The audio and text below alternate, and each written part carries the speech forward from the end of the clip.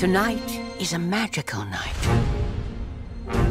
If you're like me, you saw Cats over the holiday break, either because you love musicals, are a Taylor Swift fan, or you were just curious after all the social media backlash surrounding the movie. Well, you know what they say about curiosity and cats. The star-studded movie bombed at the box office, facing a loss of 50 to 75 million dollars against a budget of roughly 100 million dollars before marketing. But it turns out that Cats faced visual problems early on in production, and when the first trailer arrived over the summer, the backlash was immediate. Sources tell the Hollywood Reporter that there was some redesign work done at this point, including on James Corden's character Bustopher Jones, who was given a more quote comedic look with a bigger mustache and longer hair.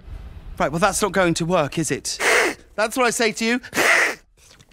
Cross pause. Sources also say that in the time leading up to the film's release, visual effects work was behind schedule. The sound mix started late, and director Tom Hooper himself admitted that the movie was finished less than 48 hours before its red carpet premiere.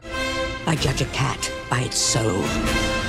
I've got plenty of soul. Meanwhile, Hooper, who is described as a very exacting director, kept adjusting the effects up until the film's release. One source tells THR there were no content changes, I don't think, explaining that the additional week of work was about refining mostly small things. Refining the amount of the actor's performance you might see, refining lighting, refining integration. This was the new version Universal sent to theaters on December 20th, as Cats opened in theaters domestically. The studio did not respond to a request for comment. For much more on this story, head to thr.com. Until next time, for the Hollywood Reporter News, I'm Tiffany Taylor.